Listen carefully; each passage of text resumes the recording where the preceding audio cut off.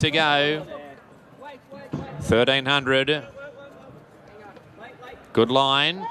Fields rights, racing, converge the inside. Eduardo began brilliantly. King of Sparta's handy.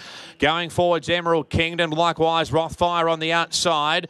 And uh, just in behind those horses there is Volana going forward out wider on the track. A Case of You. Converge now had drifted back and think about it. So from the outside, 11-11 Palacepan. Shade Low. Further back to the Inferno. Three wide Gentleman Roy. Kerwin's Lane.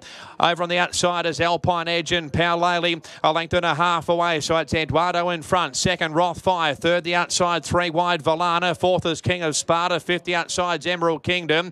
Going forward, think about it. Three wide, A Case of You, followed there by Converge and also 11 11 at the 450 metre marker. Palacepan wider. Shay lowers a long way backward. Gentleman Roy and also Kerwin's Lane in the Inferno. 400 metres left to run. Eduardo tackled here by Rothfire on the outside.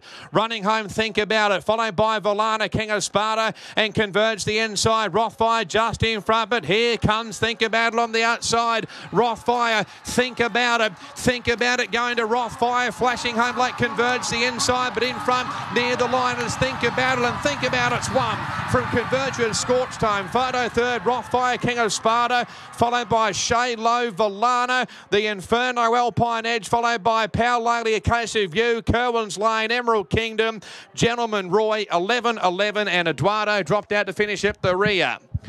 What a brilliant win from Think About It. Think About It's one from Converge, scorching home along the rail.